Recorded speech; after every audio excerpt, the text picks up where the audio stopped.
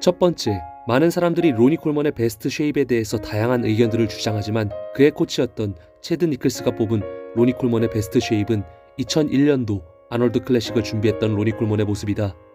당시에 로니 콜먼은 1998년도 미스터 올림피아를 우승했을 때의 체중이었던 117kg보다 약 5kg이 적은 112kg의 모습이었다. 당시에 이미 세 번의 미스터 올림피아 챔피언을 지냈던 로니 콜먼은 아놀드 클래식에서 크리스 코미어를 완전히 압살한다.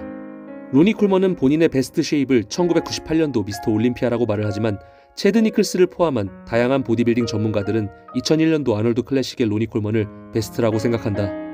두 번째, 1989년도부터 그가 미스터 올림피아 타이틀을 거머쥔 뒤인 2000년도까지 로니 콜먼은 풀타임 경찰관으로 일했다.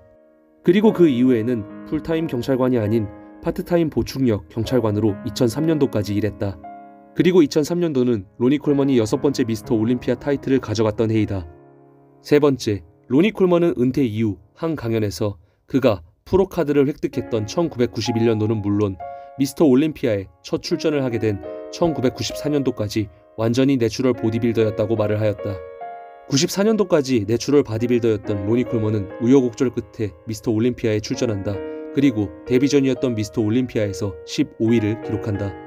이어지는 1995년도 수차례 패배에 지쳤던 로니 콜먼은 친구였던 플렉스 휠러에게 찾아가 보디빌딩에 chemical이 사용되는 것을 처음 알았다고 한다.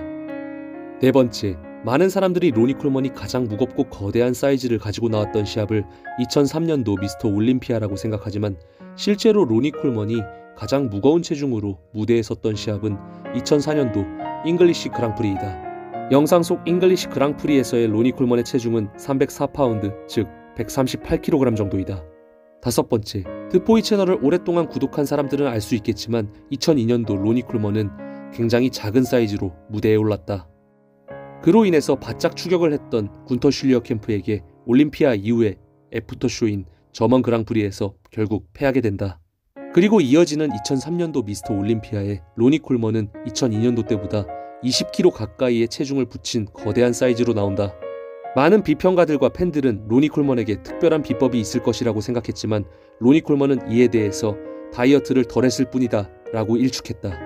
여섯 번째, 로니 쿨먼은 다른 미스터 올림피아 챔피언들과는 다르게 그가 통치했던 8년간의 시간 동안에 다양한 프로쇼에 출전을 하였다. 아놀드 클래식을 포함한 총 17개의 프로쇼에 출전을 했으며 단 한 개의 패배를 기록한다.